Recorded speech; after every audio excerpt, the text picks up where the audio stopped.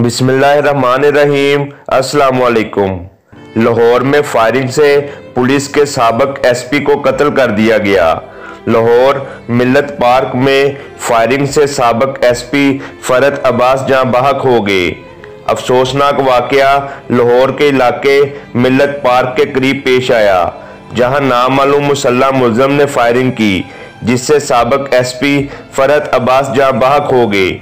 Police के मुताबिक फरत अब्बास को घर के करीब निशाना बनाया गया। फायरिंग करने वाला हमलावर अकेला और मोटरसाइकिल पर सवार था। सीसीपीओ ने वाक़े का नोटिस लेते हुए कत्ल में मुलविस मुलजम की फौरी गिरफ्तारी का हुक्म दे दिया। SSP CIA captain retire Liaquat Ali Malak जाए वकुआ पर पहुँचे।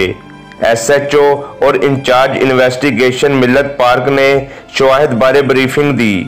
कैप्टन रिटायर्ड लियाकत अली मलक की क्राइम सीन यूनिट फ्रांसिक टीमों से मुलाकात, शवाहद का जायजा भी लिया। इस मौके पर उन्होंने कहा कि मुलजमान की गिरफ्तारी के लिए सीसीटीवी कैमरों समेत जदीद टेक्नोलॉजी का इस्तेमाल किया जा रहा है। वाक़े में मुलविस मुलजमान जल्द पुलिस की गिरफ्त में होंगे।